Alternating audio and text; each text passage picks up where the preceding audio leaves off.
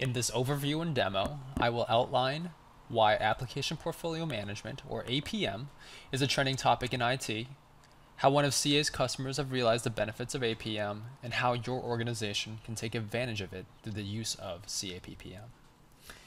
In today's IT environment, there is a huge demand for IT transformation.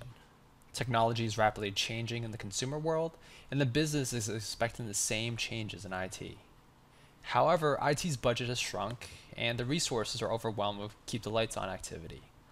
There exists a growing alignment gap, and IT needs to transform itself to shrink it.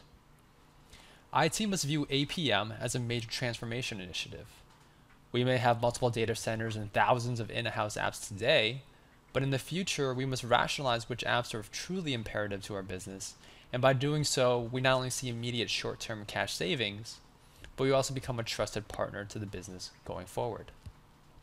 For example, Nordea Bank, one of our customers in Europe, went through a number of mergers and acquisitions of smaller banks. By acquiring those banks, they also took on all their applications and their associated licenses and maintenance fees. Many of those apps perform the same function, but did they really need five CRM applications? They listed their apps in CAPPM, and ask the application's owners to fill out details, which groups, how many users, recurring costs, and etc. And via reports, which I'll show you in just a bit, they were able to identify that 5% of their apps, which translate to about 150 apps, could be retired. As part of this initial rationalization process, they were able to save 3.5 million euros. It was well worth their investment, and they have been repeating this process every year to realize additional savings and alignment to their business. So how can your organization take advantage of these opportunities? Well, we'll first start with loading the application inventory. CAPPM can track all your applications, and we can quickly import your list from any database or Excel spreadsheet today. Next, we'll have to provide the application information. While you can enter the information in the list view, each application has form-based entry, so you can easily enter user counts, business units using the application, relevant technology, and business scores, all in a standardized manner. CAPPM even provides the scoring metrics used by Gartner and Forrester, so you can apply analyst research quickly.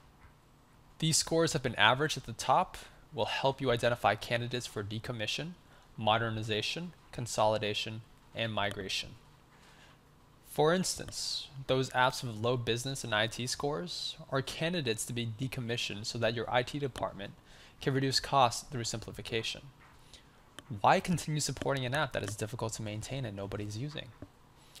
If the app has a high business score and a low IT score, we can modernize the app infrastructure to increase business agility. With other views in CAPPM, we can identify apps that share the same function across multiple business processes or units, and perhaps consolidate them to save on maintenance or service costs. Here we notice that there is a cluster of apps that perform a finance function, so I will now find out more information about them and perhaps make the case for consolidation. Visualizing this data will easily allow you to see clustering that you may have missed during the day-to-day -day minutia. And when your organization is ready to move to the cloud, you can take advantage of heat maps that isolate specific metrics to identify candidates for cloud migration. One of the major benefits of combining PPM and APM in one solution is that upgrade or enhancement projects that support your application are going to roll up to that application so that you can see the total cost of ownership. In this hierarchy view, I can not only see how much my license and maintenance costs are, but also the costs associated with upgrade, enhancement, and even migration projects. In this example, we have identified online order entry, the application itself, as a candidate to move to the cloud, and we have identified the timeline and cost to do so.